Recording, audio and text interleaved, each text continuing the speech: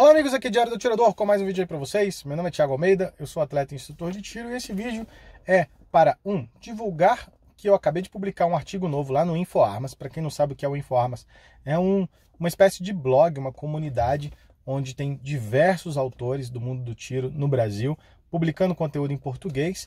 E o InfoArmas tem também uma comunidade para membros com conteúdo exclusivo de vários autores também, vários cursos online, vários conteúdos de altíssima qualidade para os assinantes. E eu estou deixando o link aqui, não só do meu artigo, que é gratuito, quanto do link para você que desejar se tornar membro da comunidade, ter acesso a esses conteúdos exclusivos, o link para você fazer o seu plano anual de, de inscrição lá no InfoArmas, beleza?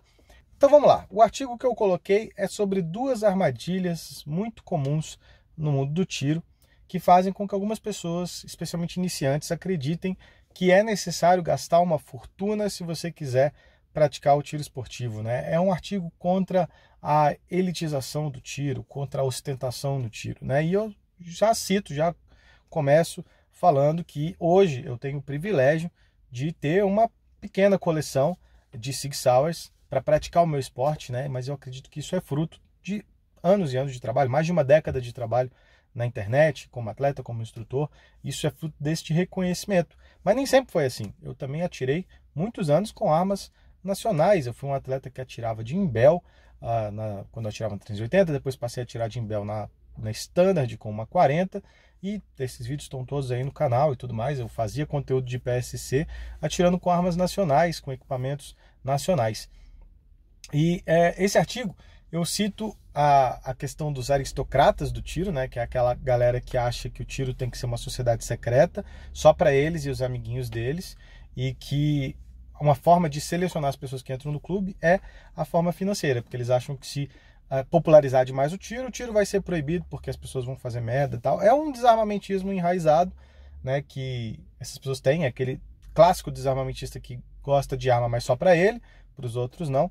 E também falei sobre os playboys do tiro, que é aquela galera que é aquela que segue aquela cultura ostentação das redes sociais e leva isso para dentro do clube do tiro, né?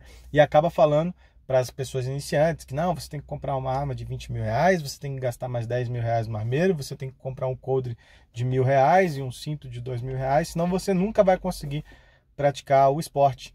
É, e uh, isso é falso, né? Hoje em dia a gente tem uh, algumas coisas no Brasil, algumas armas no Brasil, que atendem bem ao iniciante. É, e é um grande engano você achar que o equipamento vai corrigir seu, os seus defeitos como atirador. Né? E não é verdade. O tiro ele é uma habilidade que depende de experiência. Você precisa colocar tiro no seu currículo para você se tornar um bom atirador. Ninguém aprende é, no primeiro curso, ninguém aprende nos primeiros 100 tiros a, ficar, a se tornar um bom atirador, especialmente se a gente está falando em trabalhar com precisão e tempo, né, com performance esportiva.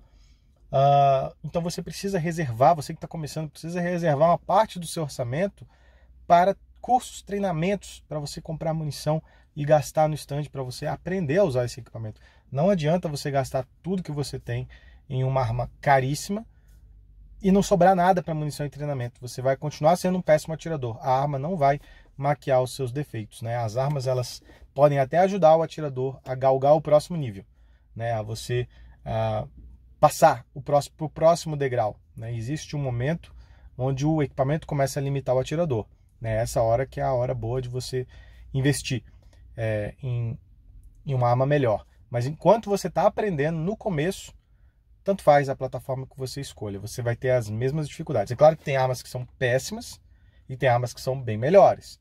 Isso não estou dizendo que isso não exista, tá? Então você tem que pesquisar e o mais importante é você reservar parte do seu orçamento para isso, tá? A gente adora lançamento, a gente adora os produtos novos que saem da indústria.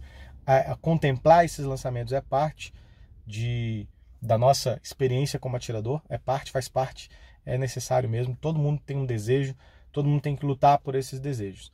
É, o que eu comento é simplesmente para não cair nessa armadilha de achar que você tem que gastar muito e a outra armadilha é você se tornar um compulsivo, gastador compulsivo, né? tentando preencher aquele seu vazio, comprando equipamento atrás de equipamento atrás de equipamento, comprometendo suas finanças pessoais e especialmente comprometendo aquele dinheiro que é fundamental que você reserve para treinamentos. E se você quiser aprender a manusear bem a sua arma, você aprender a treinar com método, você aprender a monitorar a tua progressão.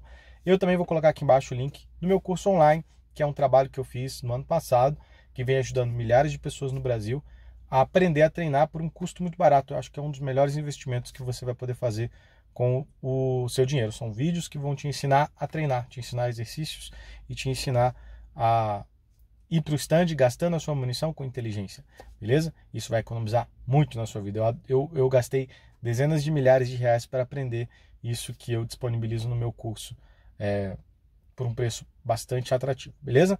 Então é isso aí. Entra lá no InfoArmas, vai conhecer o artigo, vai conhecer o trabalho do InfoArmas. Se você quiser se tornar membro, o link também está aqui embaixo na descrição. Eu sou o Thiago Almeida e até o próximo vídeo.